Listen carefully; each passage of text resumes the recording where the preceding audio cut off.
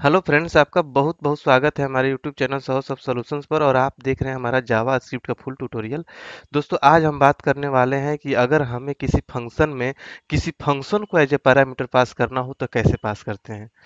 इसको कैसे यूज़ करते हैं, इसका प्रैक्टिकल करके देखने वाले हैं। तो चलिए स्टार्ट करते हैं इस वीडियो ट्यूटोरियल को। दोस्तों, जिस तरीके से हम किसी वेरिएबल को पास करते हैं, किसी फ़ंक्शन में as a parameter as a argument उसी तरीके से हम किसी फ़ंक्शन को भी एज एन आर्गूमेंट पास कर सकते हैं। तो चलिए इसे एग्ज़ाम्पल करके देखेंगे तो आपको और भी अच्छे समझ में आएगा। तो चलिए चलते हैं एडिटर की तरफ़ और उसका एग्ज़ाम्पल करके बहुत अच्छे तरीके से देखते हैं और एक एक चीज़ें हम स्टेप बाय स्टेप समझने की कोशिश करते हैं। तो दोस्तों, ये हमारा एडिटर है जहाँ पर हम एग्ज़ाम्पल करते हैं। तो चलिए सबसे पहले एक फ़ंक्शन बनाते हैं। यहाँ पर लिखते हैं फन और फ़ंक्शन बनाने मान लीजिए हमने यहाँ पर इसका नाम लिख लिया शो ठीक है? और इसमें हम रिटर्न करते हैं।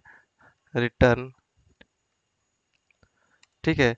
और इसमें रिटर्न करते हैं हेलो हेलो यूज़र ठीक है। और यहाँ पर हमने इसको रिटर्न करा लिया। यहाँ पर इसको आप सिंगल कोट्स या यहाँ पर मान लीजिए कि आपने सिंगल कोट्स में ले लिया तो भी चलेगा, कोई दिक्कत नहीं आपका। ठीक है। One second double single quotes हो गया। ठीक है। एक और फ़ंक्शन बनाते हैं हम यहाँ पर। एक और फ़ंक्शन मान लीजिए हमने बना लिया, और इसका नाम रख लिया, मान लीजिए शो वन ठीक है? और इसमें एक हम वेरिएबल पास कर लेते हैं, कुछ भी। मान लीजिए हमने फनी नेम से कोई वेरिएबल ले लिया। एक जस्ट एक वेरिएबल है, आप इसको आप ए बी सी कुछ भी रख सकते हैं। ठीक है? और यहाँ पर मैंने अलर्ट किया। ठीक है? अलर्ट में हम पास कर देंगे। अलर्ट का जो स्पेलिंग है गलत हो रहा है।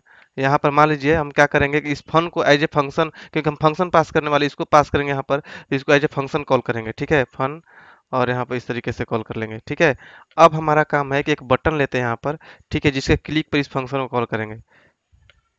यहाँ पर मान लीजिए बटन ले लिया और यहाँ पर इसको क्लोज कर दिया, ठीक है? और एक इसको क्लोज कर लेता हूँ, ठीक है? और यहाँ पर मिल ऑन क्लिक, ठीक है? और इसमें हम पास कर लेंगे इस वाले फ़ंक्शन को।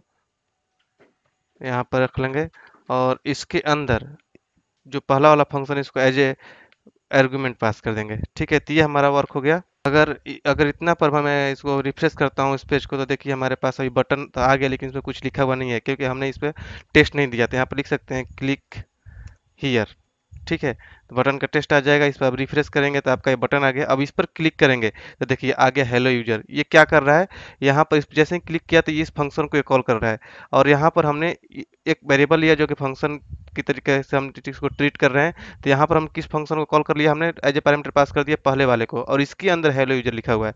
हम कॉल इसको कर रहे हैं, लेकिन हम फंक्शनलिटी किसका एग्जीक्यूट कर रहे हैं? दूसरे वाले फ़ंक्शन का। मीन्स किसी फ़ंक्शन को भी हम एज ए पैरामीटर किसी फ़ंक्शन में पास कर सकते हैं इजिली अब बात आती है कि अगर उसमें हम किसी वेरिएबल किसी और पैरामीटर के साथ भी पास कर सकते हैं क्या तो उसको भी एक बार हम एग्जांपल करके देख लेते हैं। तो चलिए यहाँ पर हम क्या करते हैं? तो यहाँ पर अगर मान लीजिए हम यहाँ पर एक वैल्यू पास कर लेते हैं कुछ भी, एक वेरिएबल ठीक है? और यहाँ पर मैं क्या करता हूँ कि एक हेलो को तो ऐसे रख लेता हूँ, ठीक है? और यहाँ पर मैं कनेक्ट करता हूँ प्लस लिख देता हूँ और लिख देता हूँ वैल्यू ठीक है? जो पैरामीटर पास किया। और यहाँ पर हम क्या करेंगे? ये तो हमारा काम हो गया, लेकिन अब हमें क्या करना होगा इसको कॉल करने के लिए? यहाँ पर मान लीजिए हमने एक ए नेम से या एक्स नेम से कोई वेरिएबल पास कर लिया। अब इसके पैरामीटर में भी, क्योंकि यहाँ पर हमने वैल्यू पास कर रहा है तो इसके अंदर भी मैं एक्स पास कर दिया।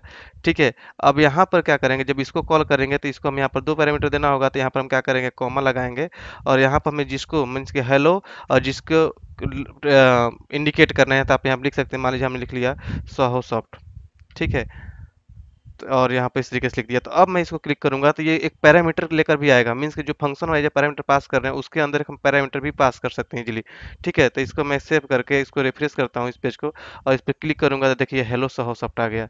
मीन्स हेलो यूज़र नहीं आ रहा। मीन्स की जो हमने वैल्यू पास किया यहाँ पर, वही आकर कैनकिनेट हो गया यहाँ पर। ठीक है? यहाँ पर थोड़ा सा स्पेस दे देंगे। तो यहाँ पर स्पेस भी आएगा। इसको रिफ्रेश कर लेते हैं फिर से। अब इस पर क्लिक करेंगे, देखिए हेलो सॉफ्ट आ गया।